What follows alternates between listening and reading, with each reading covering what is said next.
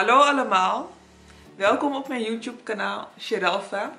Vergeet allereerst niet te abonneren mocht je dat nog niet gedaan hebben en te liken. Uh, vandaag ga ik een filmpje opnemen over de praktische zaken rondom de zwangerschap. Wat moet je regelen? Wat is allemaal belangrijk? En dan met name in België, want dat is natuurlijk weer anders dan in Nederland. Hoe ik dat heb aangepakt. Als je een kinderwens hebt en dan is het verstandig om te beginnen met foliumzuur. Um, dan bereid je je lichaam eigenlijk al voor op uh, het vruchtje. Foliumzuur ben ik eerst gaan slikken tot ongeveer week 10. En dat heb ik aangevuld met ijzertabletten, want ik had een beetje ijzertekort. En vitamine D tekort, omdat het toen hartje winter was. Het is um, bevorderlijk voor het zenuwstelsel.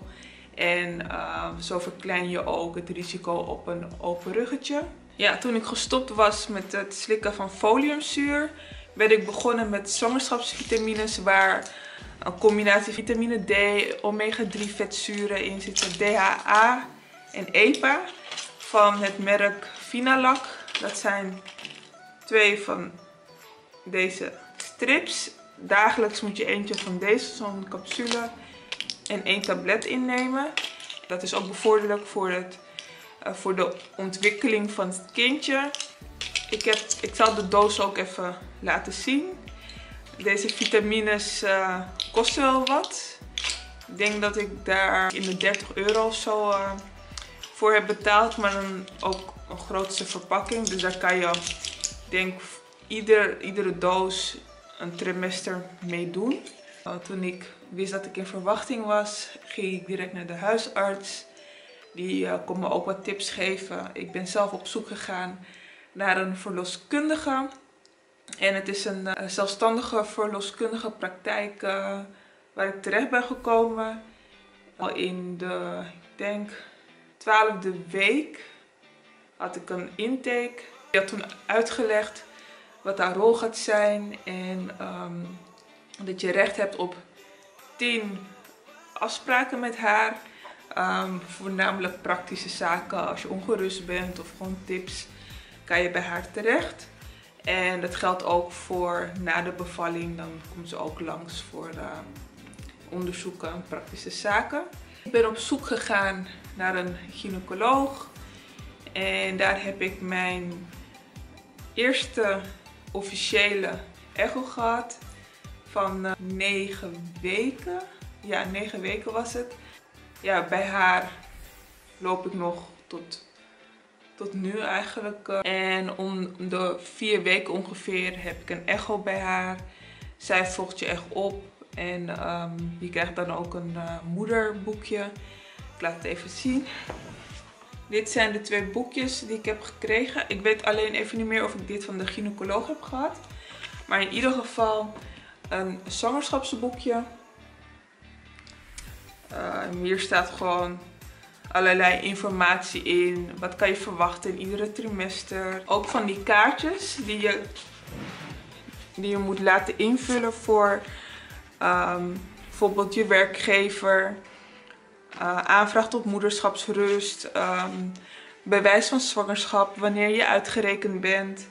Voor de ziekteverzekering. Dit zijn allemaal kaartjes die, uh, je kan laten invullen door de gynaecoloog. Mama's medisch profiel. Hier staan echt de, ja, de update van jouw zwangerschap in. Uh, hoe groot is het kindje? Hoe zwaar weegt hij? Zijn er bijzonderheden of niet? Um, bepaalde onderzoeken, afspraken. Dat wordt dan hierin genoteerd. En dat is eigenlijk vergelijkbaar met een wisselboekje die je dan uh, telkens moet meenemen als je naar de gynaecoloog gaat of de verloskundige. En dan kunnen ze op die manier met elkaar communiceren. Um, en een opvolgkaart waar alle afspraken in staan genoteerd. Dus dan uh, kan je dat op die manier ook bijhouden. Bij de 20 weken echo, dan heb je ook de keuze om de NIP-test te doen. En dat is een test waaruit kan blijken of je kind een afwijking heeft.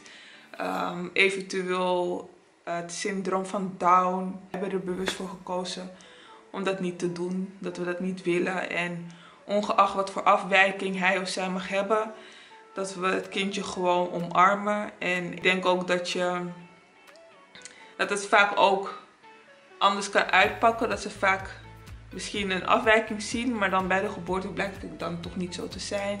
En dan loop je toch met een ongerust gevoel rond.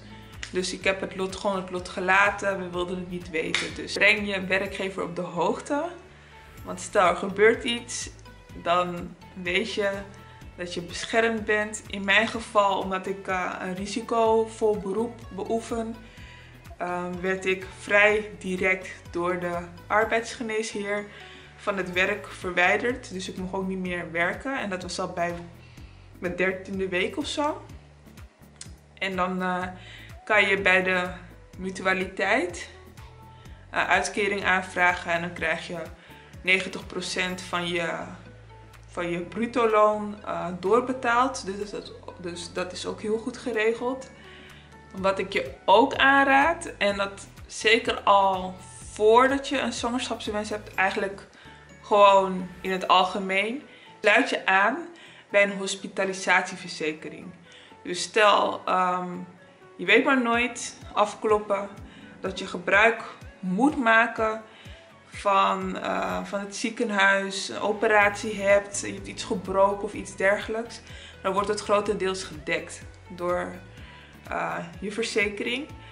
Ik, uh, ik heb het pas afgesloten toen ik in verwachting was. waardoor ik niet hoogste dekking kon krijgen, dus meer een basisverzekering. Dat, dat als ik ga bevallen en ik de duurste kamer wil nemen of de meest luxe kamer, dat het helemaal niet wordt gedekt. De supplementen, de zorg niet wordt gedekt. Mijn partner die kan alleen slapen in de luxere kamers. Het ziekenhuis waar ik ga bevallen bestaat uit een tweepersoonskamer, een comfortkamer en een suite. En alleen de tweepersoonskamer wordt wel gedekt door mijn hospitalisatieverzekering. Maar de andere kamers helaas niet. Dus dat betekent dat ik uh, de nachten dan alleen moet doorbrengen. Anders uh, kunnen de kosten heel erg oplopen. Dus ik raad je zeker aan om dat af te sluiten. Voor je zwangerschap.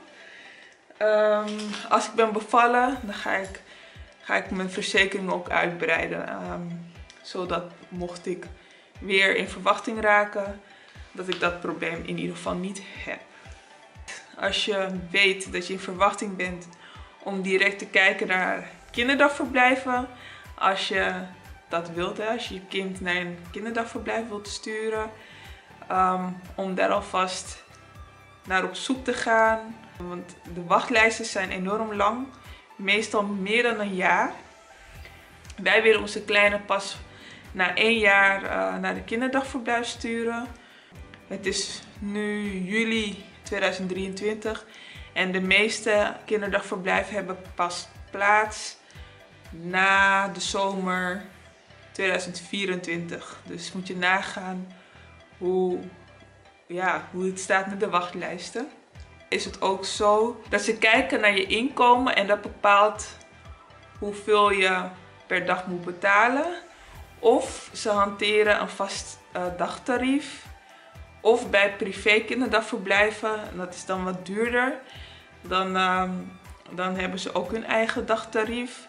Maar dan kan je meestal wel een, een, ja, een bedrag terugvragen. Wat ook vaak zo is, is dat je wel je eigen luiers mee moet nemen en je eigen flesvoeding. Dat was ik in Nederland niet gewend toen ik werkte in de kinderopvang. Dus begin daar op tijd mee. Dus op zoek gaan naar een kinderdagverblijf. En als tip, wat ook heel erg uh, een voordeel is als zwangere. Ik denk vanaf je zesde maand heb je recht om eerste klas te reizen in de trein. Dus dan uh, heb je ook een kaartje die je dan moet tonen als je, als je met de trein gaat reizen. Vanaf uh, je zesde maand kan je ook uh, kraamgeld aanvragen bij verschillende, je verschillende instanties waar je dat kan aanvragen. Ik zit bij Parentia en dan krijg je in de zevende maand het geld gewoon gestort. Het gaat om een bedrag van 1190 euro. Vrij te besteden aan uh, producten voor je kind, spullen die je nodig hebt. Dus dat krijg je gewoon gratis en voor niets. Um, dus dat is echt een mooie bijkomstigheid. En als je kindje geboren is, dan krijg je uh, kinderbijslag maandelijks. In Nederland is het iedere kwartaal, maar hier in België krijg je rond de 173 euro voor je eerste kind. Je hebt ook recht op een, uh, ik denk 300 euro of 400 euro bij je zorgverzekering, dus bij de mutualiteit. Je krijgt 400 euro te besteden aan producten op hun website, als ik het goed heb. Of 300 euro in cash. Of je kan het deels um, besteden aan spullen op hun site en deels laten storten. Dat, um, daar heb je dus recht op als je bent bevallen. En na iedere periode, ik denk als je kind een jaar wordt of bij zijn tweede verjaardag heb je ook weer recht op een, op een ander cadeau. Uh, dus je hebt wel heel veel um, geboortevoordelen. En bij de gemeente krijg je ook kortingsbonnen ter waarde van 30 euro. Ik heb nog niet zo lang geleden ook een infosessie gevolgd online bij het ziekenhuis waar ik ga bevallen. En daar um, legden ze ook uit wat je kan verwachten als je uh, gaat bevallen. Wat, wat voor opties er zijn, pijnbestrijding. En dan kon je ook gewoon volgen hoe een bevalkamer eruit ziet. Hoe je wordt geholpen, hoeveel dagen je moet blijven. En, um, en wat na de bevalling. Dus dat was ook wel interessant om uh, een kijkje te mogen nemen. Dus dat raad ik je ook aan. En verder, um, als je de kans hebt en de tijd hebt om zwangerschapscursussen te volgen, doe dat ook. Wij hebben een zwangerschapscursus gevolgd bij onze verloskundige.